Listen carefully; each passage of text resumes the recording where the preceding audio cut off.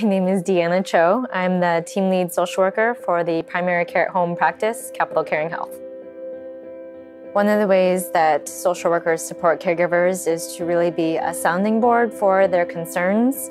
There's so many things that caregivers are facing and they really need someone to just listen to them and be present with them in that moment so that we can know how best to support them and be that bridge from one side of difficult to the other, um, a bridge for many different situations and issues and concerns.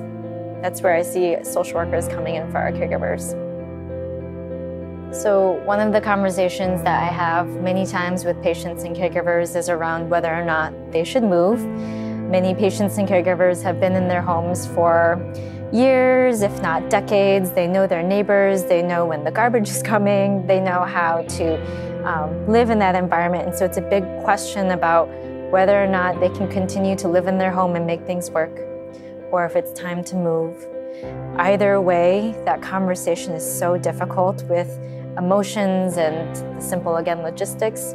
So it's great fun, I would say, to be a social worker and help our patients and caregivers navigate that conversation itself.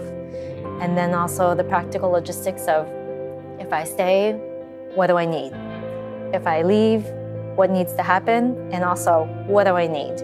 Um, it's a great privilege to be a part of that sort of journey and one of the big decisions of their lives. I love uh, connecting with individuals on a very um, deep level. It's not often in today's times that we get to talk about something that really pains us or is difficult.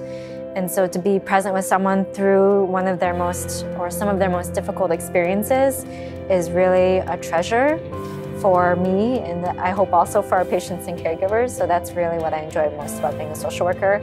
I also enjoy the um, aspect of working with some really great colleagues that are experts in the field and really care about their patients and caregivers as well.